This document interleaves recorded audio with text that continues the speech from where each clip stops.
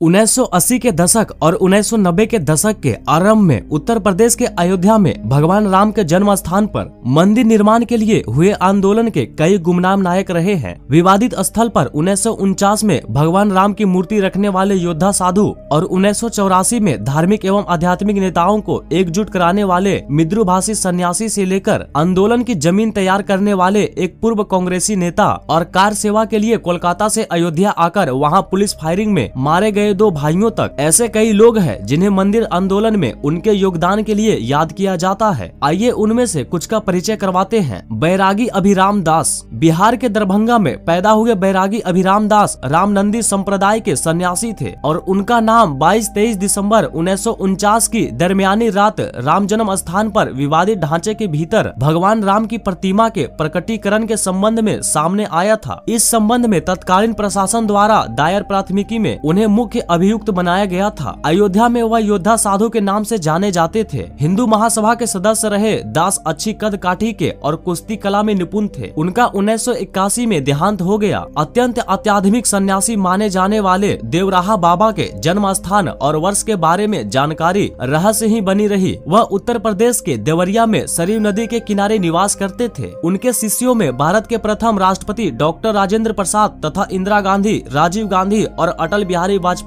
जैसे नेता शामिल रहे थे। उन्होंने जनवरी उन्नीस सौ चौरासी में प्रयागराज के कुंभ में आयोजित धर्म संसद की अध्यक्षता की थी, जिसमें विभिन्न हिंदू संप्रदायों के धार्मिक एवं आध्यात्मिक नेताओं ने मिलकर 9 नवंबर उन्नीस को अयोध्या में राम मंदिर की नींव रखने का फैसला किया था। कहा जाता है कि जब राजीव गांधी आधारशिला रखे जाने के बारे में उनकी सलाह और उनके आशीर्वाद लेने गए तो देवराहा बाबा ने उनसे कहा था, बच्चा हो, जाने दो। मोरोपंत पिंगले नागपुर के मॉरिस कॉलेज के ग्रेजुएट के प्रचारक पिंगले एक अदृश्य रणनीतिकार थे। उन्होंने सभी प्रमुख यात्राओं और तमाम देश अभियानों को आरंभ करने में अहम भूमिका निभाई थी, जिनमें शिला पूजन कार्यक्रम भी शामिल था, जिसके तहत तीन लाख से अधिक ईटे अयोध्या पहुंचाई गई थी। पिंगले हमेशा पर्दे के पीछे काम करना पसंद करते थे और वह 1980 के दशक में मंदिर आंदोलन के एक शीर्ष रणनीतिकार थे। महंत अवैधनाथ अवैधनाथ 1980 के दशक के मध्य में राम मंदिर आंदोलन का नेतृत्व करने के लिए गठित राम जन्मभूमि मुक्ति यज्ञ समिति के प्रथम प्रमुख थे। वह एक अन्य प्रमुख संस्था राम जन्मभूमि न्यास समिति के भी अध्यक्ष थे, जिसने इस आंदोलन में एक महत्वपूर्ण भूमिका निभाई। उनका बचपन का नाम कृपा सिंह बिष्ट था। वह उत्तर प्रदेश के गोरछा पीठ के महंत दिग्विजय नाथ के अनुयायी बन गए और 1940 में सन्यासी के रूप में महंत अवैधनाथ का नाम धारण किया। वह उन्नीस सौ उनहत्तर में गोरछा पीठ के प्रमुख बने। महंत अवैधनाथ हिंदू सभा के भी सदस्य थे। वह गोरखपुर से पाँच बार विधायक और चार बार लोकसभा सांसद निर्वाचित हुए थे। बाबरी मस्जिद विध्वंस मामले में उन्हें भी आरोपी बनाया गया था। स्वामी वामदेव गोरछा के लिए बेहद समर्पित मिद्रुभाषी सन्यासी वामदेव ने उन्नीस सौ चौरासी में जयपुर में आयोजित एक अखिल भारतीय सम्मेलन के ज़रिए तमाम हिंदू धार्मिक और आध्यात्मिक नेताओं को एक मंच पर लाने में अहम भूमिका निभाई थी। तब 400 से अधिक हिंदू धार्मिक नेताओं ने 15 दिनों तक विचार मंथन कर आंदोलन का भावी रोड मैप तैयार किया था। स्वामी वामदेव ने 1990 में अयोध्या में कार सेवकों का आगे बढ़कर नेतृत्व किया था। जब मुलायम सिंह यादव सरकार के आदेश पर पुलिस द्वारा की गई गोलीबारी में उनमें से कईयों की मौत हो गई थी, वृद्धावस्था के बावजूद वह छह दिसंबर उन्नीस सौ बानवे को अयोध्या में मौजूद थे, जब बाबरी मस्जिद को ढाया गया था। श्री सचंद्र दीक्षित दीक्षित 1980 के दशक में राम जन्म भूमि आंदोलन के अग्रणी नेताओं में से थे। वह उन्नीस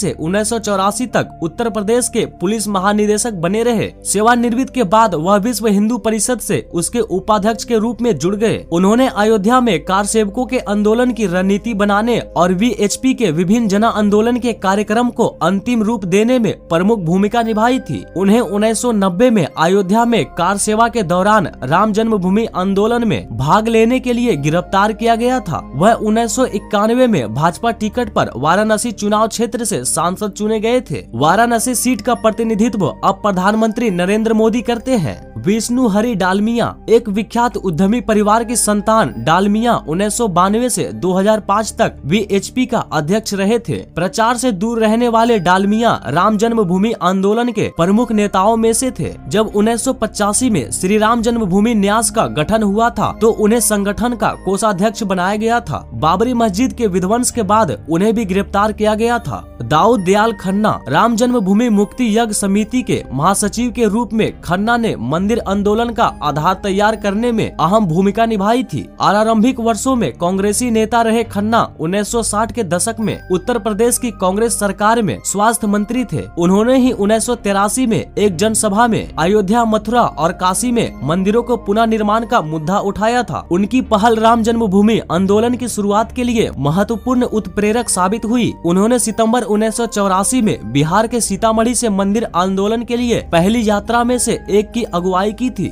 कोठारी बंधु राम कुमार कोठारी और शरद कुमार कोठारी सगे भाई थे, जो अक्टूबर 1990 में कार सेवा में भाग लेने के लिए अयोध्या आए थे। कोलकाता के निवासी कोठारी बंधुओं के अलावा उनके माँ बाप की कोई और संतान नहीं थी। उन्होंने कार सेवकों के पहले जत्थे के सदस्य के रूप में 30 अक्टूबर 1990 को अयोध्या में कार सेवा की थी। दो दिन बाद 2 नवंबर को कार सेवा के ही दौरान पुलिस ने दोनों को बिल्कुल करीब से गोली मारकर खत्म कर डाला। मौत के समय राम कुमार तेईस साल के और शरद कुमार महज बीस साल के थे। कोठारी बंधुओं की हत्या ने देश भर के हिंदुओं को आक्रोशित कर दिया था। दोनों को राम जन्मभूमि आंदोलन में नायकों और शहीदों का दर्जा प्राप्त हुआ। उनकी शहादत ने 1990 के दशक में बड़ी संख्या में युवाओं को मंदिर आंदोलन से जुड़ने में एक प्रमुख उत्तर प्रेरक का